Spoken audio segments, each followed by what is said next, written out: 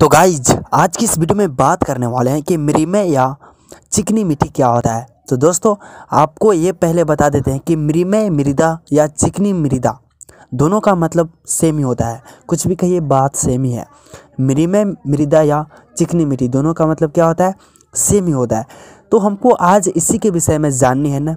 तो बस इतना समझिए ना कि अगर आपके पास कोई भी मिट्टी है, कोई भी मिट्टी है तो उसमें बहुत छोटे छोटे कण होंगे ना? बहुत छोटे छोटे कण। यानी कि इतने छोटे कण, सूक्ष्म कण। यानी कि जिस मिट्टी में अगर छोटे छोटे कण हो और अधिक अनुपात में हो तो मतलब वो हो गया आपको क्या? मृमय, मृदा या चिकनी मिट्टी, समझे? यानी कि हम ये कह सकते हैं कि कोई भी मिट्टी लीजिए।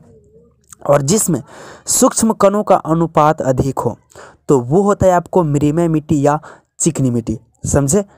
तो मैं आशा करता हूँ ये वीडियो आपको अच्छी लगी होगी। तो चलिए, वीडियो समाप्त हुआ।